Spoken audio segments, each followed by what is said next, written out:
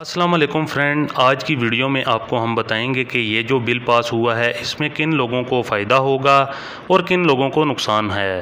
और domestic workers जो हैं, उनका क्या वीज़ा अब ट्रांसफ़र हो सकेगा कि नहीं?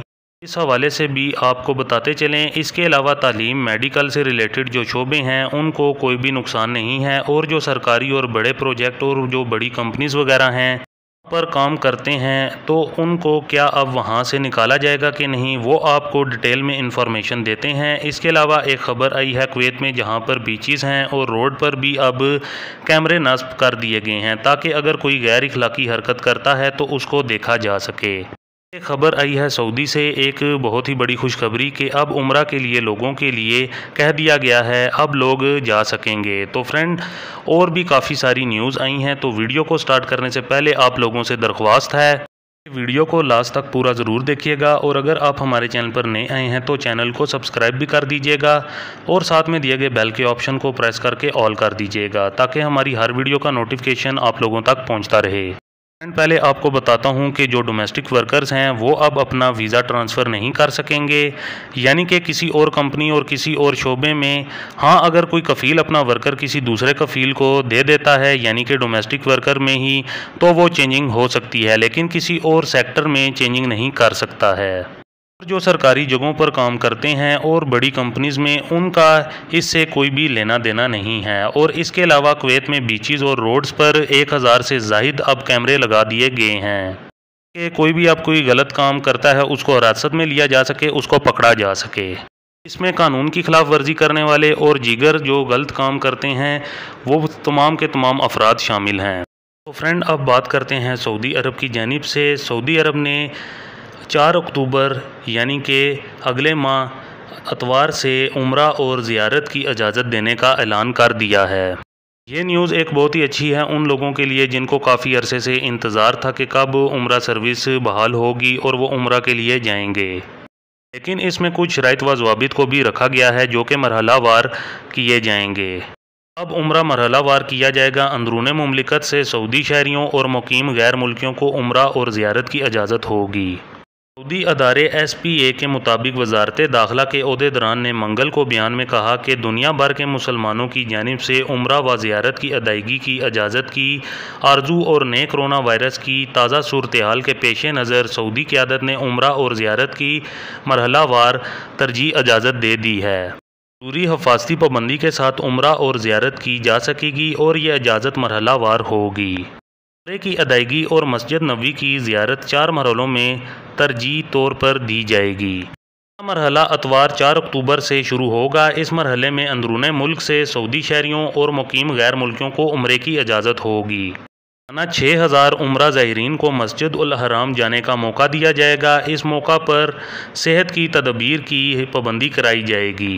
दूसरे मरहले की शुरुआत 18 अक्टूबर 2020 यकम रबी अव्वल से होगी। इसके तहत सऊदी शहरीों और मुकीम गैर मुल्कियों को उम्र ज़ियारत और नमाज़ों की इजाज़त होगी।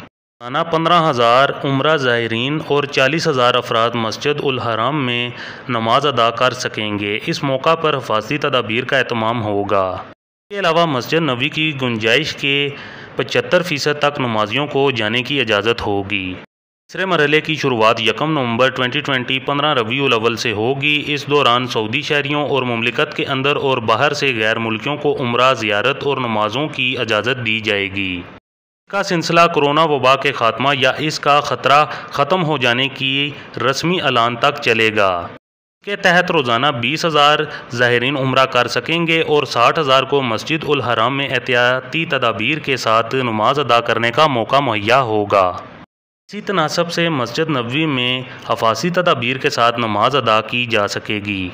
बैरून ममलिकत से उम्र और ज़्यारत की इजाज़त तदरीजी तौर पर दी जाएगी। ऐसे मुल्कों के बाशिंदों को उम्र और ज़्यारत के वीज़े जारी किए जाएँगे, जिनकी बाबत वजारत सेहत ये फ़ैसला देगी।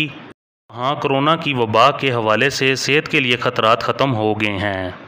चौथे मरहले के तहत सऊदी शहरीों मुकीम, गैर मुल्कियों और बैरून ममलिकत के लोगों को उम्र, ज़्यारत और नमाज़ों की सौ फ़ीसद इजाज़त होगी। ये इजाज़त उस वक्त दी जाएगी जब मुतल हकम वबा के ख़तरात ख़त्म हो जाने का फ़ैसला कर लेंगे। वजारत हज व उम्र ऐप के ज़रिए उम्र, ज़्यारत और नमाज़ के अमल को मनज़म करेगी। इस हवाले से वजारत, सेहत और मुतल हाकम के मुकर करदा सेहत व जवाबत और पैमाने नाफिज किए जाएँगे। वजारत दाखिला ने उम्र नमाज़ और ज़्यारत करने वालों से अपील की है कि वह हफाजती तदाबीर की पाबंदी करें, सेहत व जवाबित के तहत मास्क, समाजी फासले और अशिया को ना छूने का अहतमाम करें। दाखिला के अहदेदारान ने मजीद कहा कि सऊदी अरब, अंदरून व बैरून ममलिकत से ज़ायरीन को उम्र, ज़्यारत और नमाज़ की महफूज अदायगी की ख्वा और कावश है। सऊदी हुकूमत चाहती है कि तमाम आबादतें सेहत ख़तरात से पाक माहौल में अंजाम दी जाएँ। वजारत दाखिला ने वाजिया किया कि इस अलानिया में जिन चार मरहल का ऐलान किया गया है, इनका मुस्तबिल बुनियादों पर जायज़ा लिया जाता रहेगा। की ताज़ा सूरत के हवाले से फ़ैसलों में रदोबदल हो सकता है। इसके अलावा एक ख़बर आई है, कुवैत से वजारत सेहत ने बैरून मुल्क फंसे हुए अपने मुलाजमीन की सूरत हाल को दूर करने के लिए एक तरीक़ाकार अपनाया जो 12 मार्च से उनतीस जून तक की मुदत के दौरान अपनी छुट्टी की मियाद के बाद वापस नहीं आ सके। उन अफराद पर गौर किया गया था, जो सिविल सर्विस के सर्कुलर के मुताबिक तयशुदा सरकारी तातीलत और आराम के दिन भी शामिल थे। बशर्तिया तौर पर यह अलाउंस कटौती हो जाते हैं। के गड़ी अलाउंस अनाम तरबियत शिफ्ट अलाउंस खाने का अलाउंस तीस जून से मुहाफ़ा की मुद्दत में वक्ता छुट्टी मिल जाती है, जिसके बाद तनख्वाह के बगैर खसूसी रुख्सत हासिल की जाती है। इस बात को मद्देनज़र रखते हुए कि छुट्टी के दौरान 2020 के साल के दौरान नबे दिन से ज़्यादा नहीं होता है और ये कि खसूसी तातीलत पंद्रह दिन से ज़्यादा की मुद्दत के अख्ताम के बाद और तस्दीक के बाद ही दी जाती है। इस साल के दौरान नहीं मिल रहा है। इसके बारे में तरीक़ाकार ये बताया गया है कि जब मुलाजम अपने मुनासब पते ख़त्म कर देता है या इस सूरत में कि उसको छुट्टी देने की शरात पूरी नहीं होती है तो इसे एक ज़बरदस्त अज़र के साथ काम से कट ऑफ़ समझा जाता है और वह अजरत के तहत काम करने वाले असूल के मुताबिक इसकी तनख्वाह का मुस्तक नहीं होता है। लाजमी तौर पर जर्मनी की मुद्दत के लिए तनख्वाह की फरहमी को कबूल नहीं करता है। जब तक के इस मुलाजम के लिए जो उनतीस जून के बाद छुट्टी मिल जाती है और वो परवाज़ों की मोतली की वजह से काम पर वापस नहीं आ सकता है, वो उसे बगैर किसी तनख्वाह के खसूसी छुट्टी देने की दरख्वास्त कर सकता है, ज़्यादा से ज़्यादा पंद्रह दिन से ज़्यादा नहा हो, और इस छुट्टी का फ़ोन या किसी और ज़रिए से दरख्वास्त की जा सकती है। बाशर्तिया तौर पर इसकी तनख्वाह बंद कर दी जाती है, तोसी करने के बाद या तोज़न की अदम मौजूदगी में तोसी की इजाज़त है। एंड ये थी बहुत ही इंपॉर्टेंट न्यूज़ जो कि आप लोगों के साथ शेयर करना काफ़ी ज़रूरी थी। तो फ्रेंड वीडियो को लाइक करें और शेयर करें और अगर किसी भाई का कोई सवाल है तो वो ज़रूर हमें कमेंट करके भी पूछ सकता है। हम ज़रूर आपको रिप्लाई करेंगे। अल्लाह हाफिज़।